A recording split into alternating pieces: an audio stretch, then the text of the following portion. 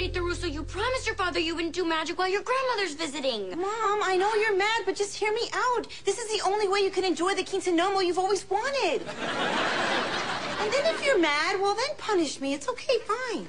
It's quinceañera. Oh my gosh! I love this dress. I'm so pink and fluffy. I'm 15 again. That's right, Mom. You're 15 again. Oh, I'm sorry.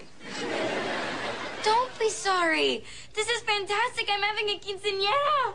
You think we can pull this off? Trust me, it would not be the first time I got away with magic. I mean, it would totally be the first time.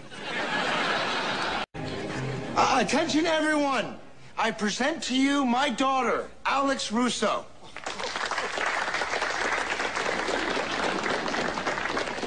Thank you so much, everyone, for coming to my quinceañera. I just love saying my quinceañera. Everyone, all together, my quinceañera!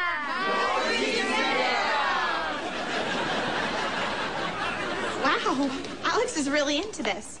Not to take all the credit, but I always knew I could change her.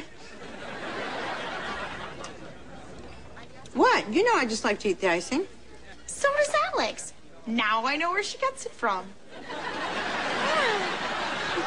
And now it's time for the symbolic shoe ceremony.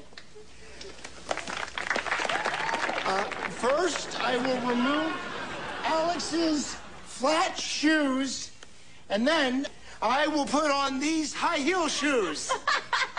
Get your own, mister! What I meant is, I will put these high heel shoes on Alex to symbolize a girl becoming a woman.